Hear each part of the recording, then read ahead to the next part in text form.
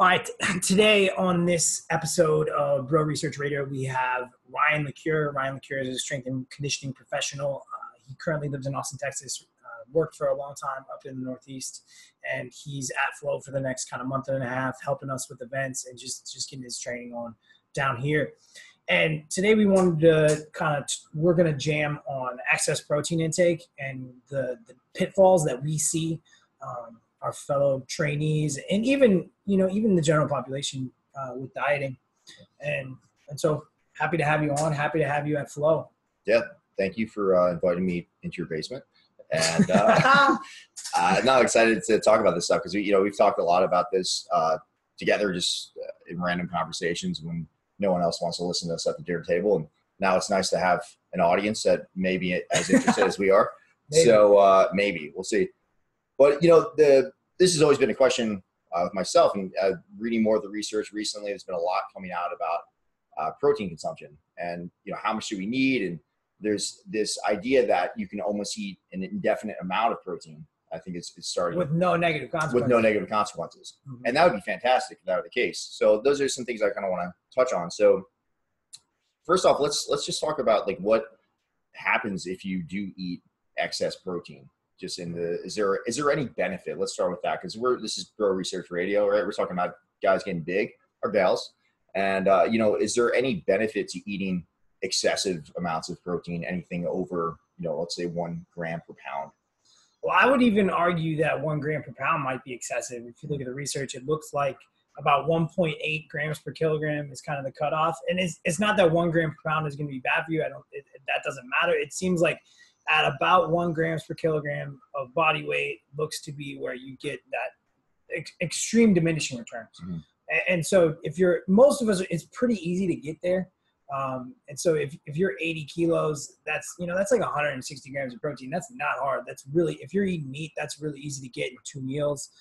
Um, and so what I, what I think ha- what I think people don't realize is once you hit your, what you need for muscle, growth or even just maintaining muscle mass, the that excess protein is going to be utilized. Like the body is one thing that we know about the body is that is insanely efficient. And so there's 13 amino acids that can be just churned right through the Krebs cycle, right into glucose via gluconeogenesis. You got you got some amino acids that can go right to acetyl CoA and be synthesized to fat.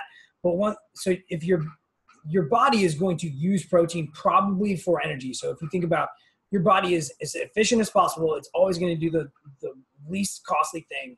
So it's it's probably going to oxidize protein as a fuel source and then save fat. So if you're in a, if you're in an excess of energy, it looks like that if you're consuming a lot of protein, your body will use that protein for energy and then store the fat that you're intaking, provided that you're eating enough fat. Um, if you're not eating enough fat, if you're eating a super, very odd, this would be pretty hard diet to even do feasibly would be a ton of protein, very low fat, and then a ton of carbohydrates, mm. which which seems to be gaining popularity. Mm. Yep, uh, yep. And so then I think that your body would um, that that would be the least inefficient. So like that would be the least efficient way to do anything as far as storage of fat, mm-hmm. because then you're gonna have this you're gonna have a ton of protein maybe running around that you can't use, oxidize well as a fuel.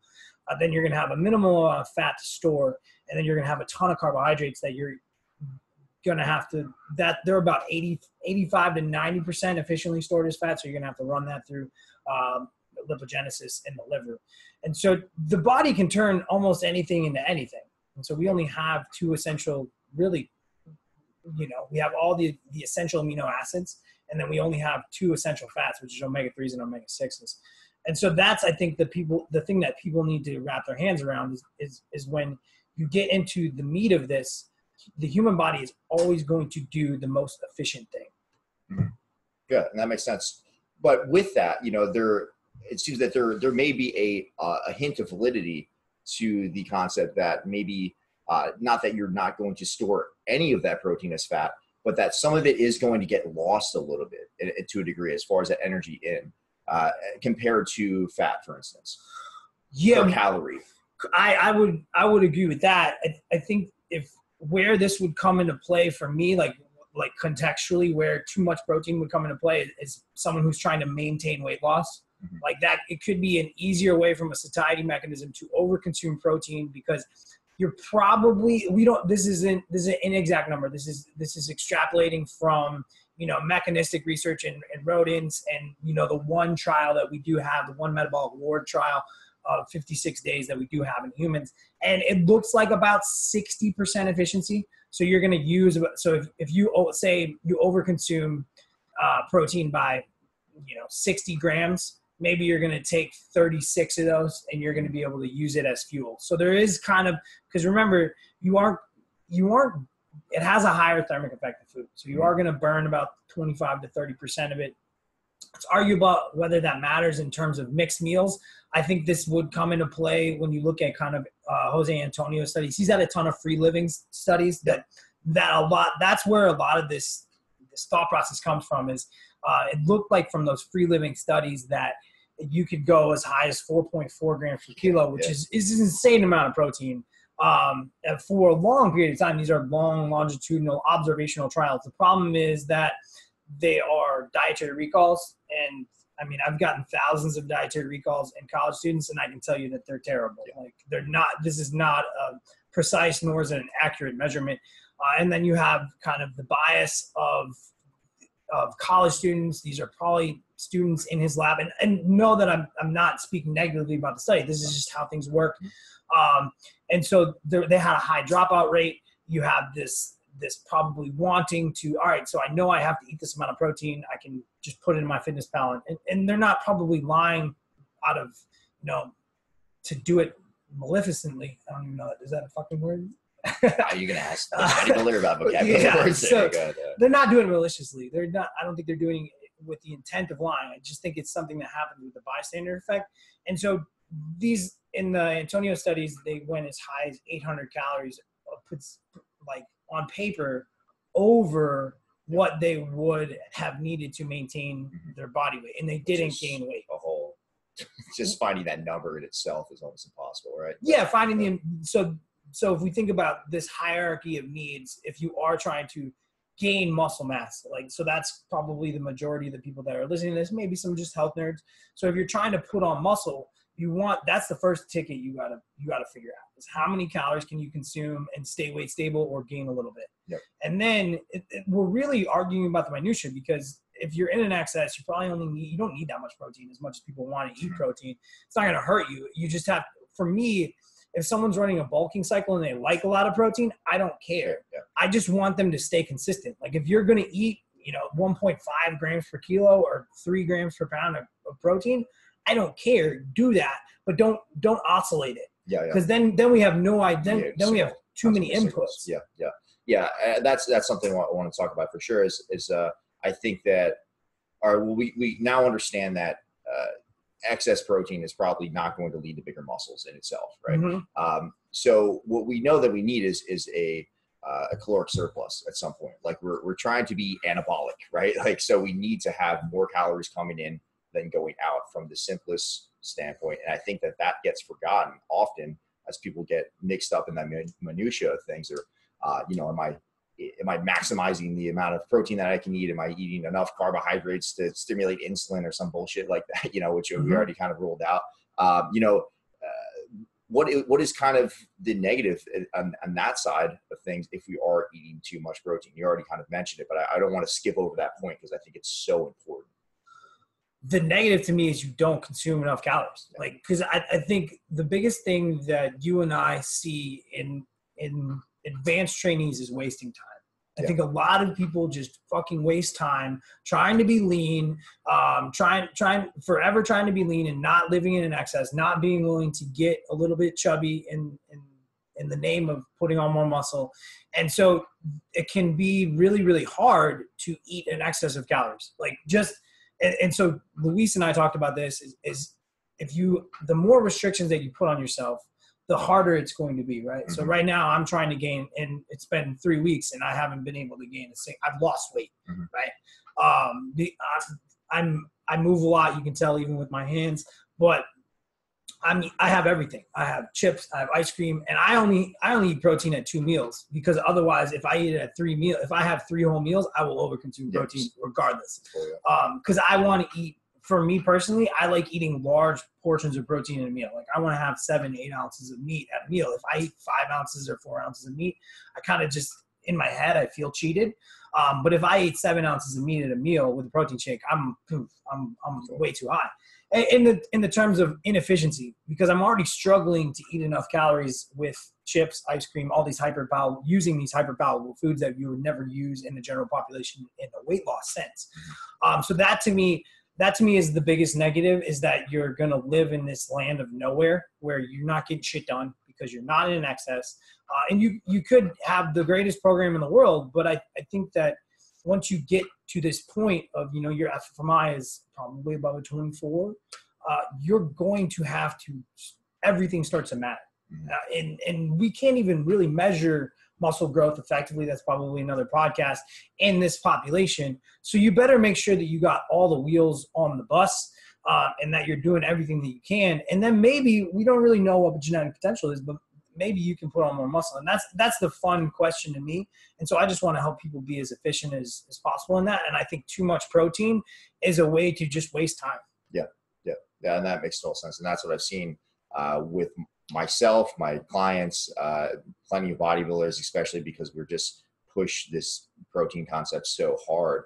And i think you also actually run the risk of uh, you, you mentioned a lot of like those hyper palatable foods. And I, I think when it comes to and this is probably a different uh, conversation, but carbohydrate consumption, it probably doesn't really matter what you're what kind of carbohydrates you're eating, as long as you're eating uh, some amount of fiber and you're eating uh, some micronutrient micronutrient dense foods. Like I, I'm thinking vegetables when I'm talking about this. And a lot of times, what happens, at least with myself, especially, I can say that uh, when I was trying to cram in eight protein servings a day, I just cut out vegetables altogether. Mm. So the impact that that has on digestion, um, you know, maybe we're not getting the micronutrients from from the soil anyway, but uh, I think there's probably some things in vegetables and things that are that are beneficial, probably more beneficial than the seventh serving of, of chicken that I had that day, right? So I, I think that for for the listener, like if you're having trouble gaining weight, if you're having trouble eating food, because anyone who's done this for a long period of time knows that at some point you're going to look at your plate and want to vomit.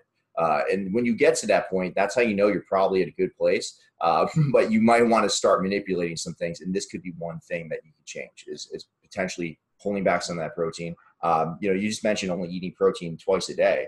Um, I mean, that might set yeah. some signals off for people. I don't know if you want to talk about that at all. Yeah. So how I do it is I have a protein shake with an RX bar in the morning. So I'm making sure that I hit my leucine threshold at least four times. So I'm just having smaller protein boluses and then two bigger protein boluses. So I, the we both kind of think of everything in bumpers and that there are no hard and fast rules. Mm-hmm. And, and so one of the bumpers, if you want to gain muscle, it looks to be that you want to have more frequent training stimulus to if you're advanced because your muscle protein synthesis response is probably going to last 24 36 hours less than when you're a beginner less than when you're if you're a beginner you can train once a week legitimately and you'll have a you'll have a muscle protein synthesis response for like seven days. But once you get advanced you can probably recover a lot faster hopefully. Hopefully you're not changing your exercises all the time repeated bout effect. You're gonna you're going to probably want to train every 24 to 46 hours in terms of every muscle group just to get that muscle protein synthesis response because that muscle protein synthesis response is probably capped it's probably like so you're just after chronically hitting that boom, boom, boom, boom, boom, and that's how I think of it is just hitting that hammer as much as possible. Um, and so where does protein intake fall on that? It's probably if you're if you're getting four boluses at 0.4 grams per kilogram, we're good. Um, and then I think that you need to focus on you know how all the other things. If you've got that down, great. I don't I don't I don't think that it even matters. Like unless you're training fasted. Oh, that's the other thing that I would always have protein in the system mm-hmm. before training. I think that's the most that's the most logical thing to me. If we're after running mTOR, um, if we're after growth, you probably always want to be running have that substrate in the system. Um, if you do train fasted, if you enjoy that, then I think protein timing comes into play. Mm-hmm. And for those of us who are not good at math, uh, not that I know any of them, point four grams per kilogram. What, what does that look like on average for, for an average person? How much protein do you need before? It's like 35 grams yeah. for me, not hard. Yeah. Uh, so, so, it's pretty easy, right? So for most people, uh, it's worth it if you're waking, especially the early morning people. Uh, this I've always had to, to kind of persuade people to do this, but uh, if you're an early 5 a.m. lifting person, it's worth it to have that scoop of protein before you go to the gym. Uh, you're, you're hopefully you're going to be able to digest that. If you can't, then you, you probably have other issues. Uh, call this guy about that. No, I think Uh, I think people like malabsorption is super rare. Like I, Yeah. especially when you're talking about like isolated nutrients like that, like your body's going to be able. And if you can't have whey, um, the option would probably be there's egg white protein, there's stuff like that. There's other proteins. If you do have to go to a vegan protein or a collagen based protein, that's where your amino acid situation might come into play. So then you want might want to add about you know 10 maybe 15 grams of essential amino acids to that so that that would be the only if i think shakes are incredibly useful right but i think that people can get in trouble with shakes because they are such a dense protein source and like you're, if you're pounding shakes all day Yeah, yeah. It's uh, like twenty. I mean, what we're looking for is is uh, two to two point five, maybe three grams of leucine, and uh, Yeah. that's it, right? So that's and for uh, a high quality protein source, it's only going to be 20, 25 grams of protein. If you're if you're looking at some of those vegan sources, it's going to be a little bit higher. Way but higher. that's but that's something you can look at. You know, like check that label. Uh, you know, and and I would. It, it's it's worth doing, especially if you're at that higher level. Uh, if you're if you're pushing that FFMI over 23, those little details become important to a degree. Uh, and females for an FFMI would probably around. We don't have as much. We don't have as much data on this, but it's probably at 20. So if you're, uh, when we talk about fat-free mass index, that's like kind of the most that we think you can put on Mhm. uh, with or drugs. Obviously, scripted situation, but Yeah. and even aside from that, you know, just just someone who's been training for a while on a good training program that's been eating well, that's been sleeping. If you're at this plateaued stage, like things start to matter a little bit. Uh, you know, but I think that we focus on some of the wrong things, some of the minutia that that is not as important. But uh, certain things uh, can make a difference if you compile that over a year, a decade, uh, and that's that's really what we're looking for when we take drugs out of the equation. It's that's the game. I mean, it's little changes, man. like, so you better love the game if you're if you're if you're gonna go that route. Uh, so yeah, I mean, I, I think all that that stuff is super helpful for someone who uh, who's been just reading bodybuilding magazines for a while, and, and even uh, the ones that are educated. You know, I think that it's still it's still out there for sure.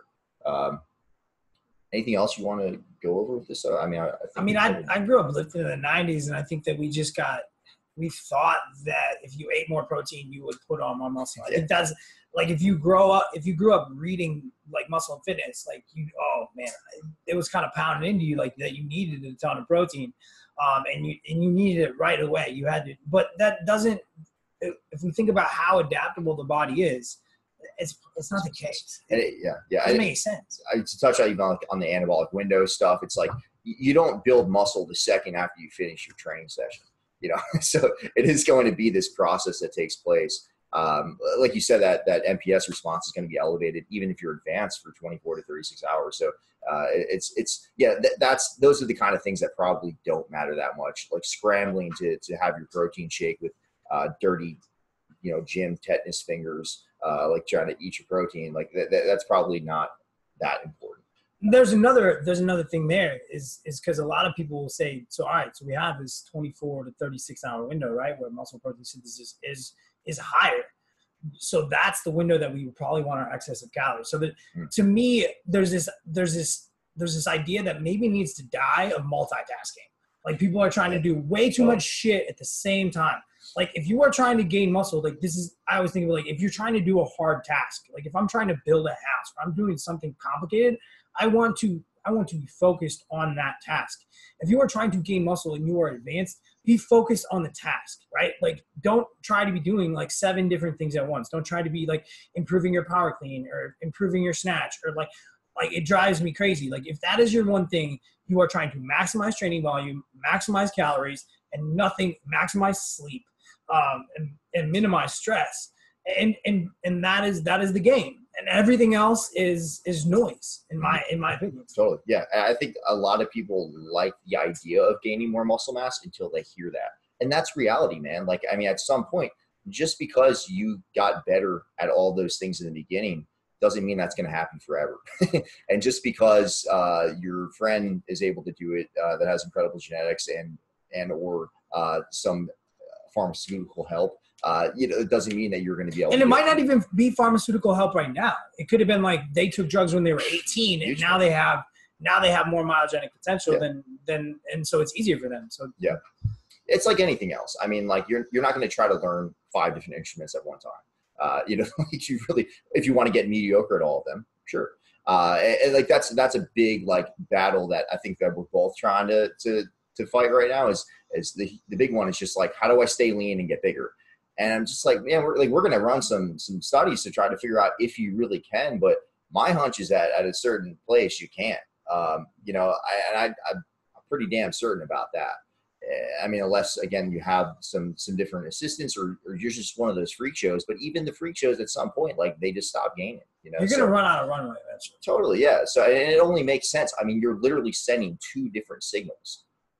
It's a, it's an anabolic and a catabolic signal at the same time. Like that, uh, it, it just it doesn't work. The only time that works is with some type of novel stimulus, and that's why it works in the beginning because you're going if you start resistance training uh, your body's not going to have much of a choice but to repair that tissue regardless of what's coming in. And there's been research on yeah, that. You can turn fat into muscle when you begin. It, it, the, that's the problem with the fitness industry is anything can lead to body recomposition in a in a new trainee. Like the research is like nonsense. Like a Zumba, I don't care what it is. Like just getting you off your ass and moving when you haven't been moving, you will put on muscle. You will you will recomp with fairly little changes to your diet, right? Like you can just do broad scale changes. And so make sure that the tool matches the task. And I think that you can we can get lost in that. And if you are trying to gain, you the tools are excessive calories, maximizing training volume, like and, and probably having a training frequency of th- at least three to four days per week. Like that's gonna that's gonna take over your life a little bit. Like I train six days a week. I know most of the time you're you're you're training at least six to 7 mm-hmm. uh, and so this is this is the game. And if if you want to play the game, play the game. If you don't want to play the game, uh, don't say that you're playing the game and just annoying people. Yeah, yeah, yeah. Uh, especially if you're a coach. yeah, yeah. Nothing is nothing is more annoying to me than people saying they want something and then doing the not be not being willing to put in the effort to get that something yeah and and you know i would love to at some point talk about some of the psychological components of that because i i think that that's I mean, that's something i've become like extremely passionate about and um, you know especially with the social media aspect of things and mm-hmm. just people feeling like they have to look like they're ready at all times to be on muscle and fitness uh, that that that gets in the way of of this stuff but you know if that's what you want to do totally cool man I, like i have no issue with that completely um, different game it's, it's a to- just know that it's a different game and the people that you see that are that appear to be doing uh, what you want to be game. doing. Yeah, that, that really is. Yeah, get yourself to a to a play Could, because you're going to get 80 to 90 percent of your results in terms of hypertrophy and probably strength in the first year. Uh, you know, so if that's what you want to do, if you want to just look your absolute best uh, all the time, like there's going to be consequences, and that is going to definitely have an impact on your performance and your ability to progress. But if that's what you want to do, that's that's fine. You know, but uh, what, just understand that it's different. What we see people doing with that is like when they want to leave live lean, they they get it they we get addicted to like making gains in the gym. And so they've they've kind of they've had these three to four years of training, so they've gotten stronger. And now they're unwilling to go. If you're a guy, maybe they're unwilling to go over 10% body fat and they want to have resting abs all the time. And so what we see is those guys then chase novelty because they're after they want to win. Like we're all we're all doping. If you're in this game, you're all dopaminergic. So what we see is they just hop around. Yep. Like they're living lean and they're just program hopping so that they have this. They essentially have this allure of winning. That it's it's completely fan. It's completely ghosted, but it's not real. They're just they're just chasing novelty, and they it looks like they're winning, but they're probably just they're just staying in the same. Yeah, winning is not adapting. okay, like that's it's a completely different thing. So you can go, mm-hmm. uh, you know, I tried to push Ben's car down the mountain today. I wasn't able to do it, um, mostly because Ben wasn't helping at all. I was doing 100% of the work. Uh, but you know, if I train that ability, I would get better at doing it. Mm-hmm. Would I grow? Would my quads get any bigger? Fuck no. Like uh, they're probably going to get smaller because I would have to take away from my training uh, the things that I'm doing for hypertrophy to be able to do that particular task. And you have to wear shoes and I won't wear no, shoes. Yeah, yeah, I can't wear shoes. Uh, my feet just get too sweaty. Yeah, and then you just like sloppy. And then there's nothing. Every time you take a step, I, I, I'm I mean, I'm definitely sweating right now as you speak. But this is probably the driest I've been in about a week. So, yeah.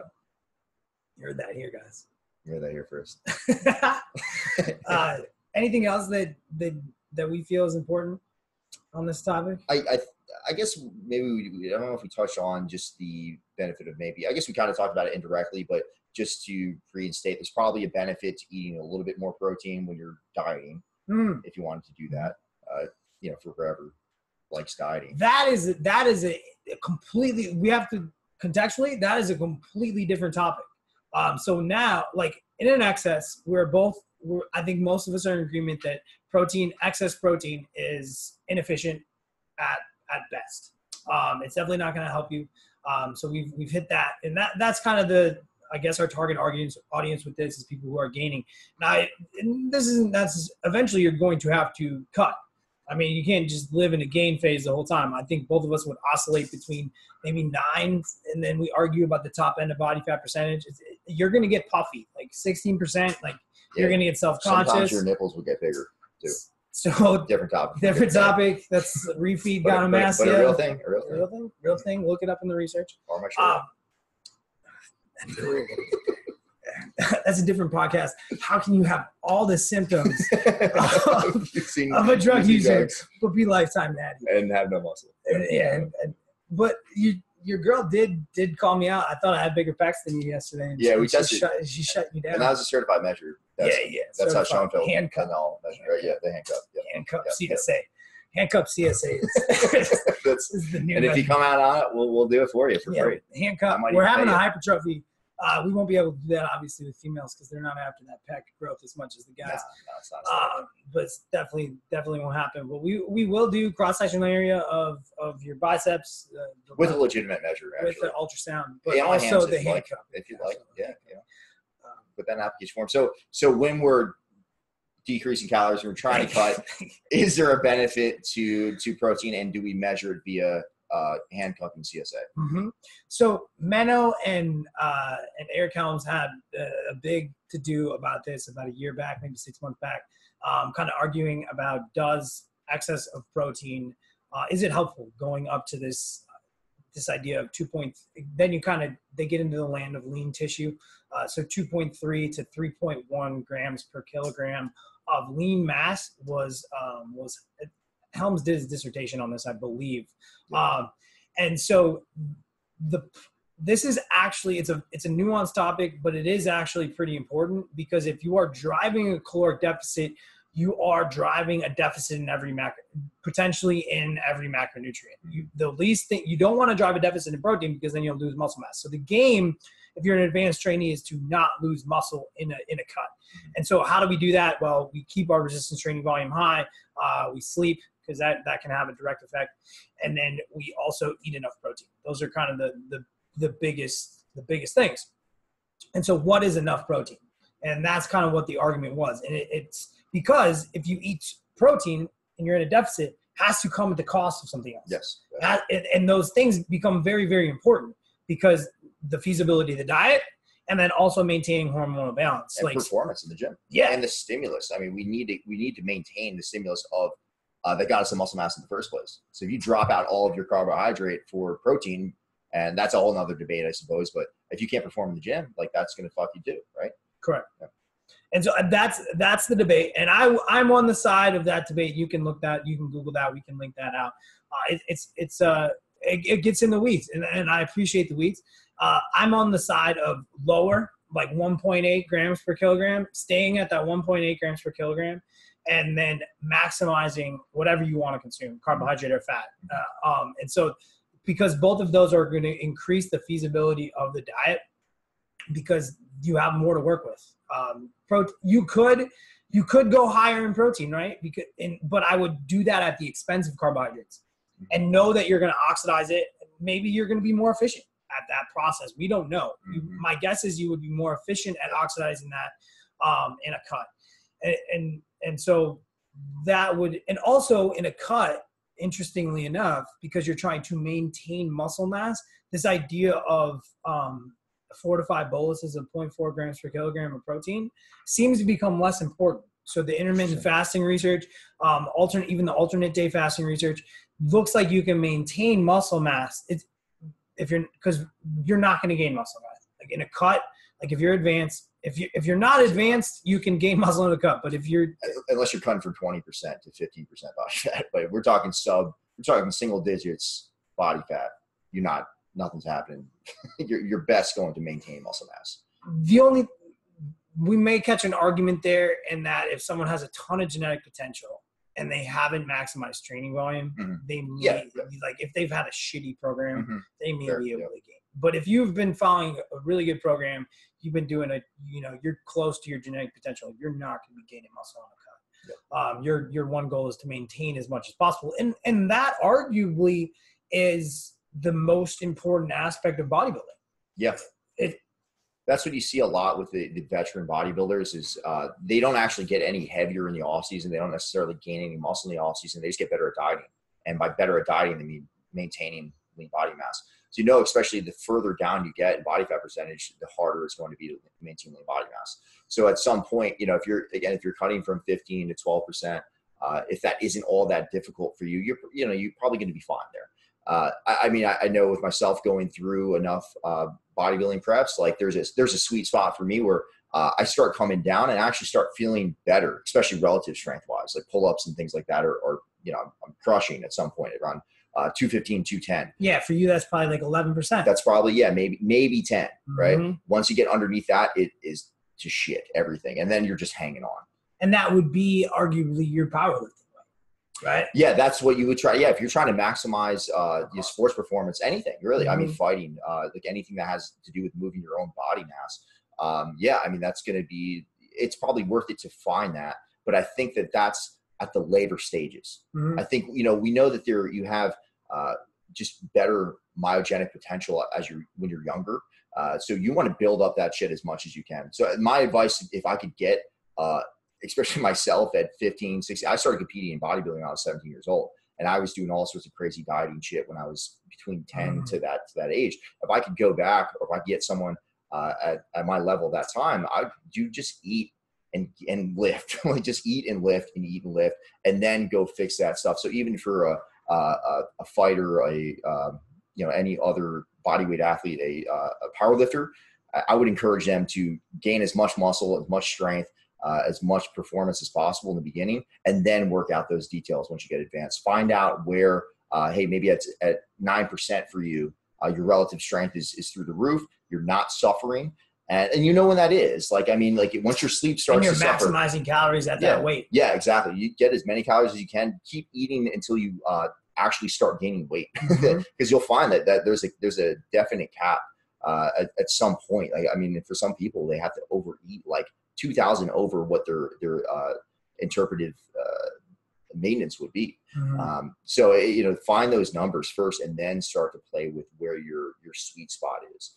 Uh, I- I think that's incredibly important if you want to get as far as you can, maximize everything. yeah this uh that's a we don't have a lot of data on that like ryan and i have talked about like that those those kind of those younger years where you are going through puberty where you do have this you know you do have a lot of big anabolic response like your your skeleton system's changing like um and so if we think about drugs and and we know when you have more testosterone you're going one of the big things that you get is you get a myonuclear response so you you get more myonuclei so you can potentially produce more muscle forever That stays. that doesn't go anywhere. doesn't even with go. detraining. that's why lifetime natural natty is a thing is because if you've taken drugs you've you've essentially change the amount of muscle that you could you can have on board um, genetically. And so the the thought process that we have and this is a complete hypothesis is that those younger years when you're potentially driving testosterone pretty high um, and whenever you're hitting puberty those younger years become really really really important for training.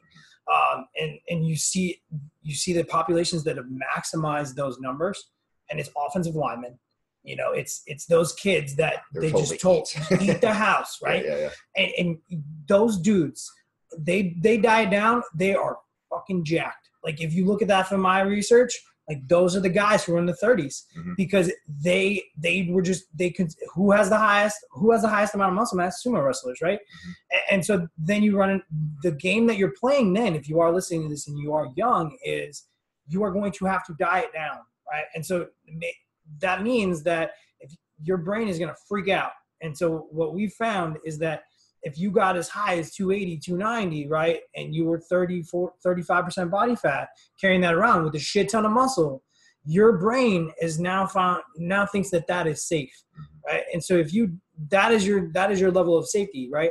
So this this bulk, uh, you probably don't want to get too big if Yeah. we're think if you're thinking about it, like so. Because then, when you diet down, you're going to have all those metabolic adaptations. Your brain's going to freak out. You're going to become super food oriented at not that low of body fat percentage. Yeah, it's more about the relative amount of fat loss that you've lost, not the absolute number.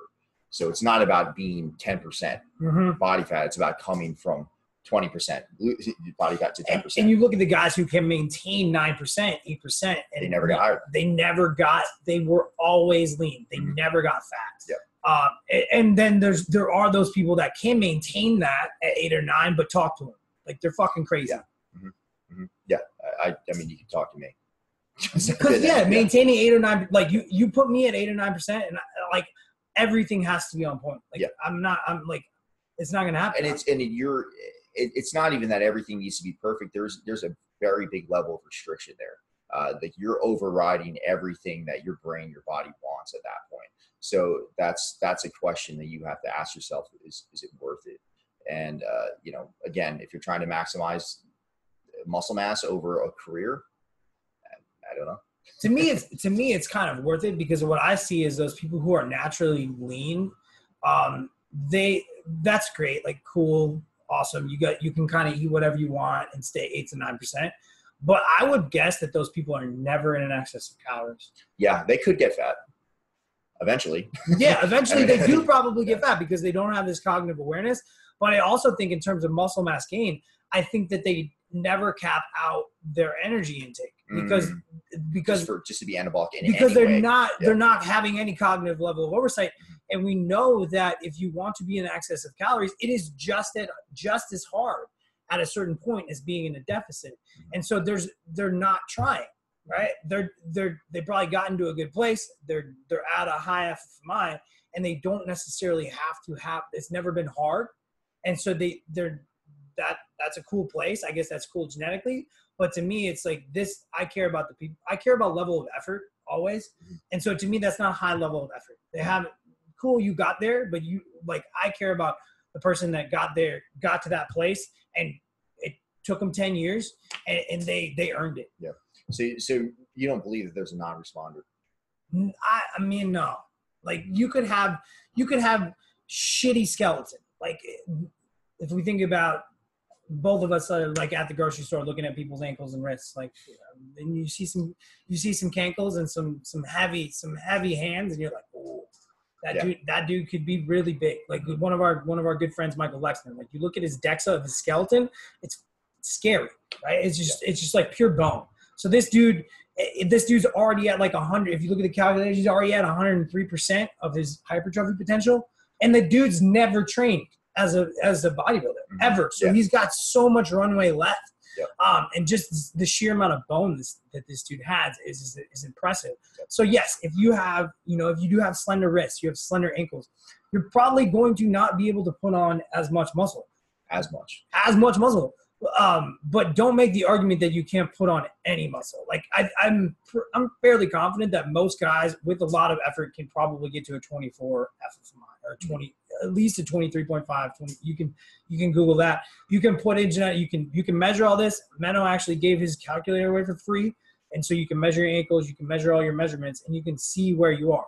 Um, both of us are. I'm like my neck is like 102 percent. Like my my quads are 93%. So unfortunately, I'm doing a shit ton of quad volume right now. Well, Um, got that leg much- jungle. So. Yeah, much to my wife's dismay. She's not not one. I'm already At least you don't sound already like got zero thigh gap.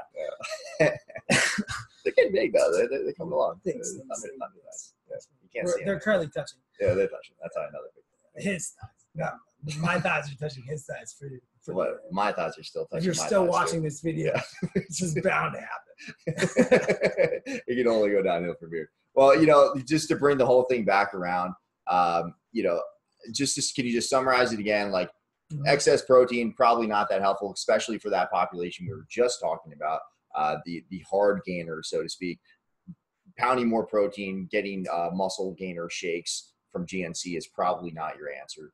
Um, maybe there's a benefit to, to having a little bit more protein when you're dieting down, just to maintain Maybe. lean muscle. But there could be a Maybe. cost there as well. and there's a co- yeah, so that's that's something uh, as a as a coach you probably want to help someone figure out. I think know. feasibility is going to be the biggest thing. Yeah, I where think- do they feel when it comes down, I mean, it just real quick, like when it comes to dieting, I mean, it, it's it's all psychological at some point. Like it's just like how far are you willing to push, and it's not about like uh, at some point you're gonna have to work hard, but you also need to find as many things as you can to be easy.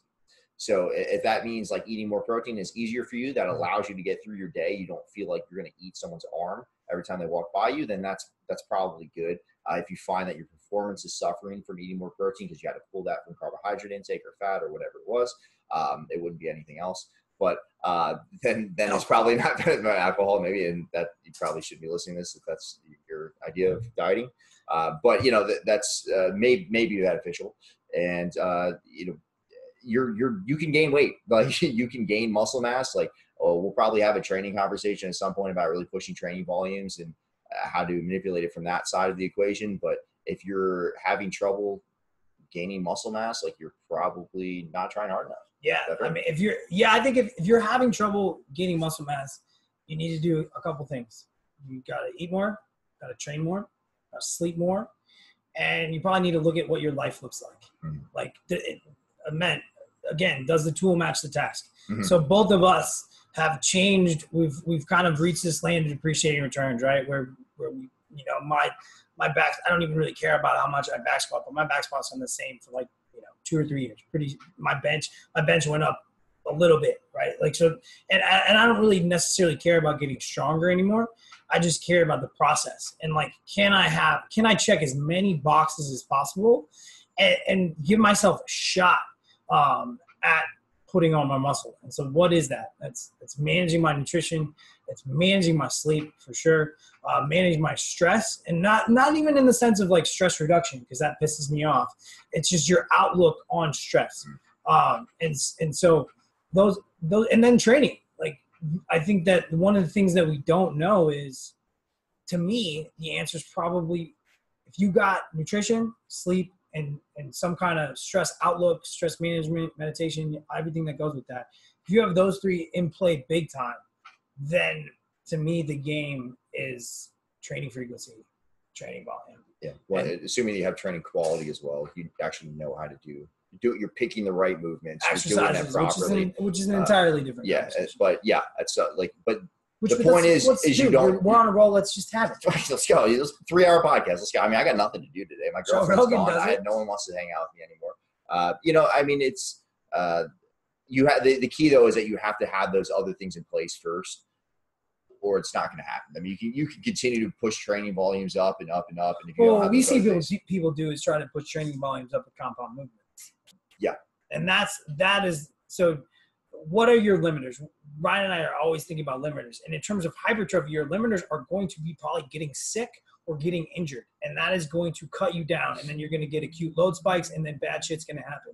So you want most of our injuries are going to be overuse injuries. So if you, if your game is hypertrophy, you need to kind of you need to be able to put your ego away, and you need to say, all right, for me, like, can I maintain my squat? Can I maintain my bench? Because I know that those aren't going to drive a ton of hypertrophy.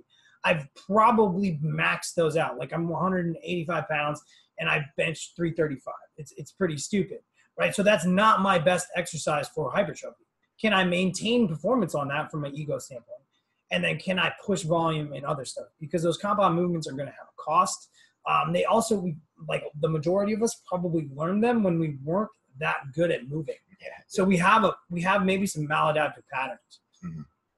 Yeah. I mean, it, it's it's almost I'm getting to the point now where I think uh, probably even still a lot of people think that like the the squat, for instance, is the king of all leg exercises.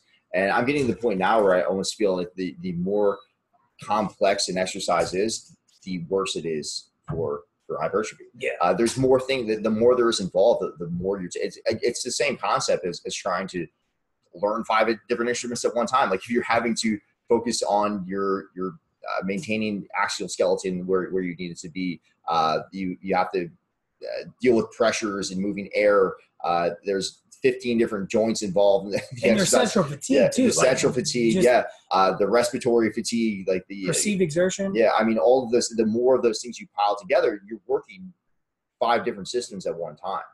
So that very well may work in the beginning because all you need is a little bit of stimulus for each uh, for each system. Uh, but if we're trying to be a, a very focused uh, organism on one thing, we're trying to adapt in one way.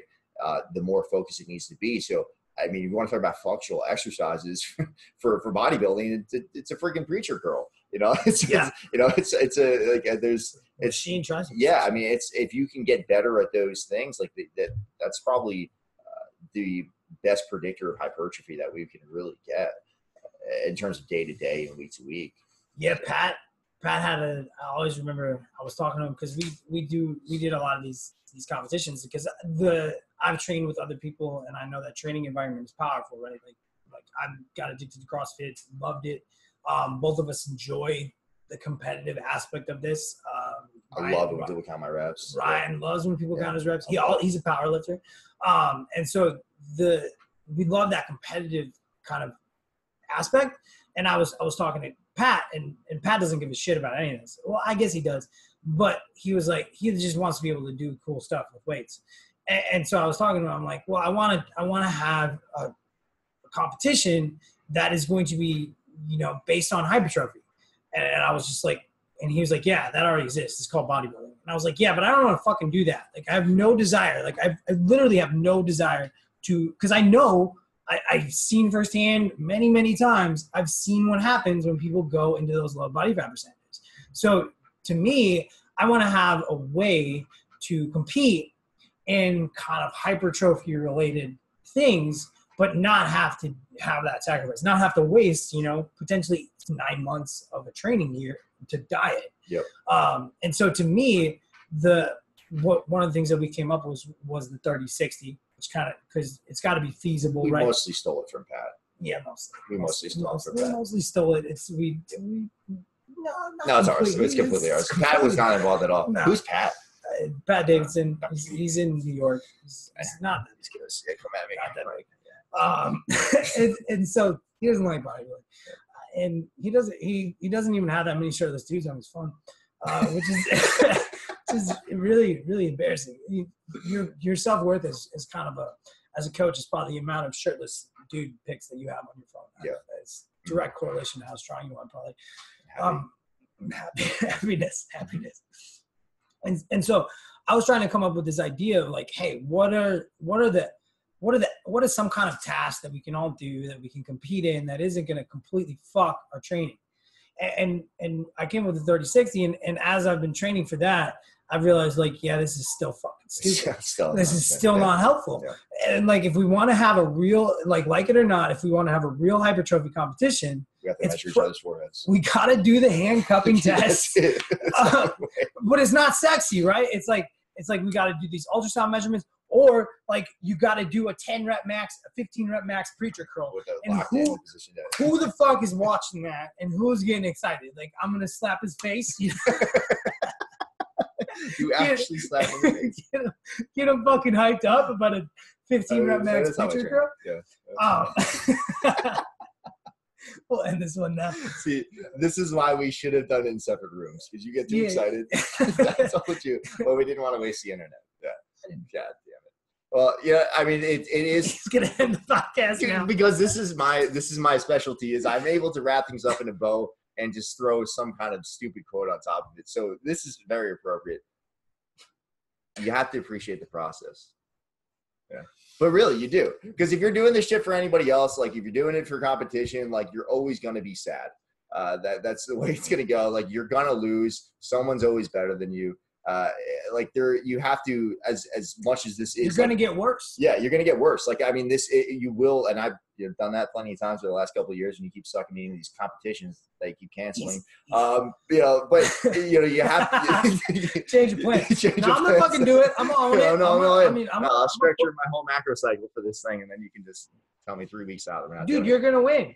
It's I fine. will, and then I'll be happy, and I'll Yeah, have sure those pics of guys. Yeah. Uh, but you know, you have to really just enjoy like Not going after that. Uh, uh, you have to enjoy going after that uh, that goal and just that process and know that like you're probably never going to be satisfied with it and that's why we do it you know and, and uh, it can't be something that you're uh, you can show off to your friends all the time and uh, maybe you can i don't know but it's it's uh, i think it's If you're in it for that, like you, you should- probably should be in it send me pictures.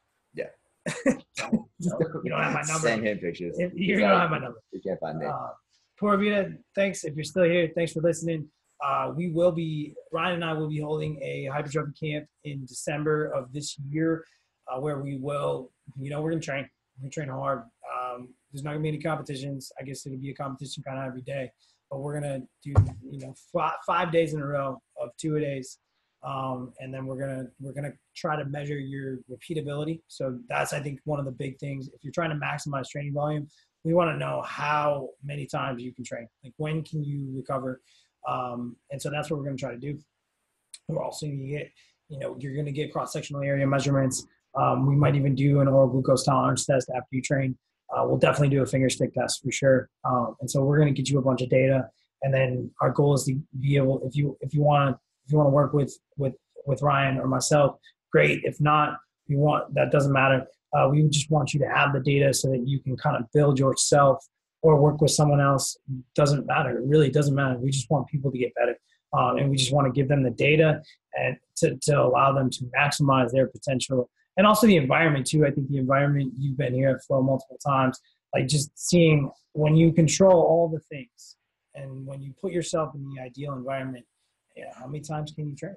yep yeah that's super pertinent someone who's been training for a while so if you, that's that's the question really Training volume, how can you maximize it? Mhm. How can you periodize it? How can you get bigger? What's the, what's the quote for the uh, more bigger equals more better I put it in? Nos vemos. Peace. Ryan's gonna he'll say that later. It's gonna work on once the, the, the